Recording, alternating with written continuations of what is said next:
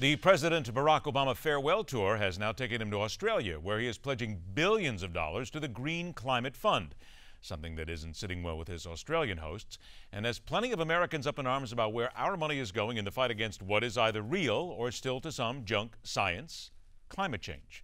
Welcome back to Midpoint. President of the Space and Science Research Corporation, a leading independent climate research firm, a former White House space program advisor, also author of a book I heartily recommend, Dark Winter How the Sun is Causing a 30 Year Cold Spell. John Casey joins us in the studio. John, pleasure to see you again. Ed, good to be back. I don't think people have quite gotten this whole thing about the 30 year cold spell yet, but I think we're going to introduce them to it if they haven't heard it already. First of all, let's start right out at the top. The president cuts a big deal with China. Everybody's talking about it. It is exactly what the world needed, according to some. I can already guess by your reaction, as I've heard from many before, that this doesn't mean much and it's not going to really last. That's correct, exactly. The deal with the Chinese is uh, certainly good PR and support, supports the environmental base of the pres president. But when you get down, boil away the, uh, the top layer and see what's beneath, there's not a lot for the U.S. except more economic distress by higher prices for utilities.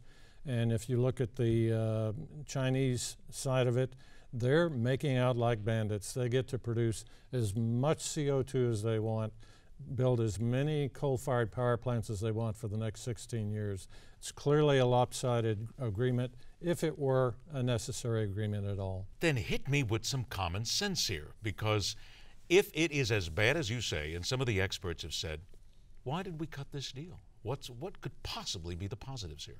Well, on the president's side, uh, as we all know, he's taken a lot of hits on the international stage. This is the one venue where he could elevate uh, his, his uh, presidency and perhaps his legacy, which is two years away. So he's working on that already. So clearly, an international agreement with the number one country in the planet, and certainly for the future, is a big step up for him.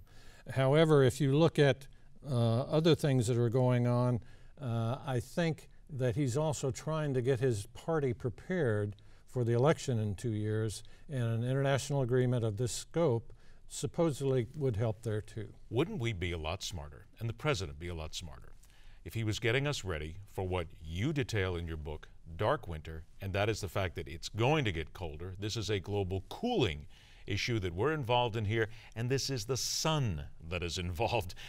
Wouldn't it be a lot smarter if we got ready for that?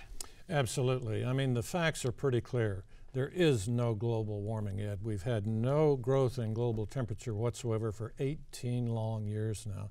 Now, that's a startling fact, but it's true. And what that means is for most of the time we've heard about man made global warming, there hasn't been any. Then why do we continue to hear the phrase global warming?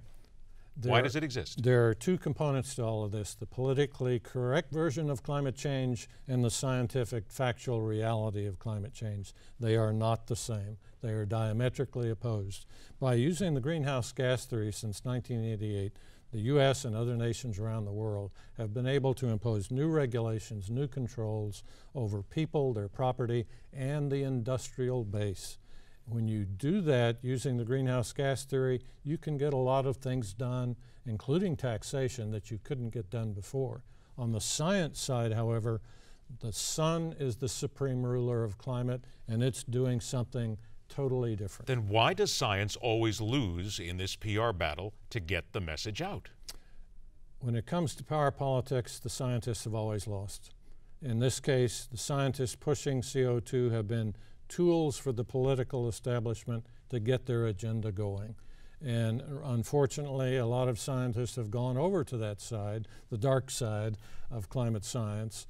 And instead of the bright side, the truthful, factual side, they're not telling the people the truth about what's happening with the sun, this uh, potentially dangerous cold climate that's coming, uh, which comes every 206 years. And unfortunately, the people are going to pay the price for this diametrically opposed climate situation. Is it just a matter of being ignorant on the president's side or just wanting to push something to make somebody else a couple of bucks?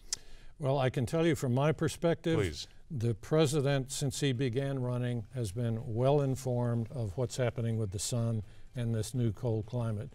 Clearly, a lot of people know what's going on. We all use the same satellites, we all observe the same sun.